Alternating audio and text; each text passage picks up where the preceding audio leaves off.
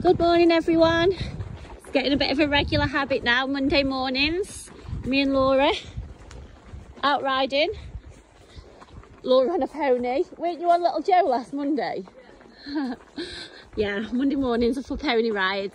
Okay, so um, today is just to fill you in about the week really guys. Um, so I am on the amazing Percy. So this is actually Percy's third ride. We've managed to get all uh, get on with his assessments throughout the weekend um, as well as competing and having family time and all the rest of it. I'm pleased to say that he's definitely ticking every box that he's supposed to. Um, but unfortunately, guys, I have actually taken a deposit on him.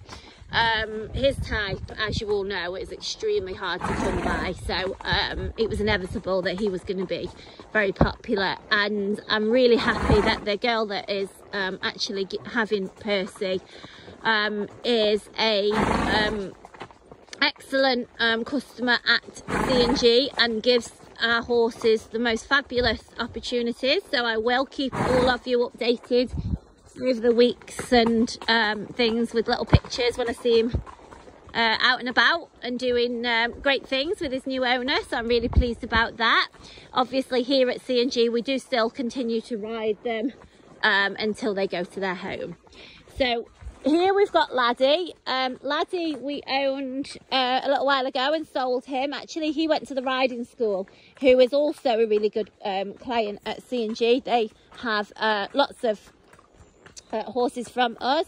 And he was just actually a little bit too quiet for the job he needed to do guys.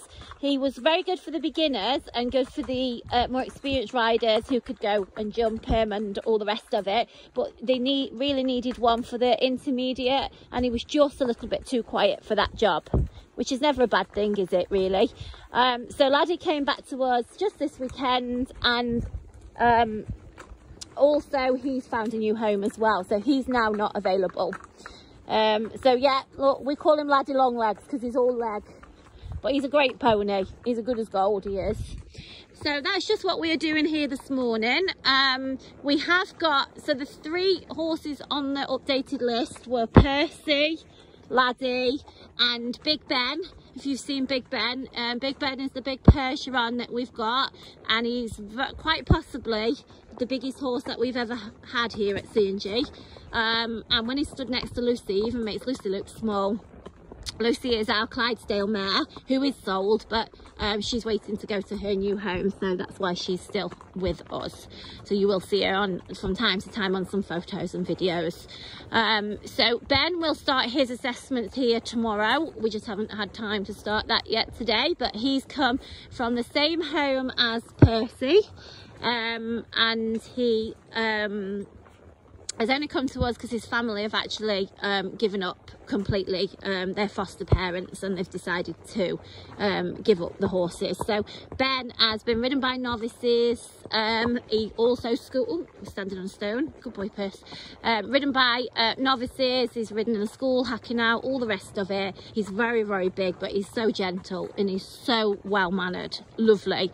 He, he's the sort of horse, guys, that is a total honour to own. I mean, there's not going to be many around like him. He is just wonderful to look at. So there'll be a lot more of him to come um, over the, the course of this week. Um, we've also got another horse coming who we have um, also previously owned and um, she didn't she, she'd gone actually to a really nice family um, to be fair and her owner um, doesn't feel she's suitable um, for the daughter who wants to go and do riding club, pony club, and you know what it's like as a teenager, you expect a lot for the horses, and actually she's quite stiff behind the mares, um, so she's not going to be suitable. Oh, Percy's walking into the bush.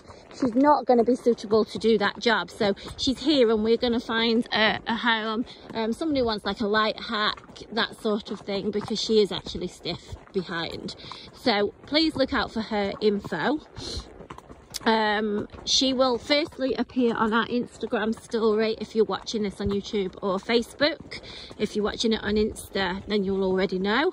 Um, and she's 15 hands and 8 years old, so she'd be a great light hack or um, companion or broodmare even. Um, if you wanted to. Lovely natured mare, she's a piebald cob.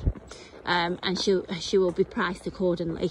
Um, so those of you that know the prices of horses at the moment are through the roof. Um, so if any of you are wanting to just have a light hack, um, and want to, to I don't have a big budget then she's po possibly the sort of horse you need to have a look at but her full info will go on her own post um, later so just have a look now um, we are expecting more horses this week. I'm just waiting to confirm some. So once I've confirmed um, there will be an updated list. So please keep looking daily because this could be uh, out as soon as the next 24 hours to be honest. So um, just keep looking or drop me a message. Just bear with us this week because i'm actually away competing wednesday till saturday although i am going to be driving home in between times to be doing videos and riding and everything else but i'm going to be even more busy than i usually am. So keep an eye out. The best thing to do is keep an eye out for updates. I want to try and keep the pages updated as much as i can um, and then i will um, answer you all um, just as I can do as well. Okay guys, have a good week. Thank you.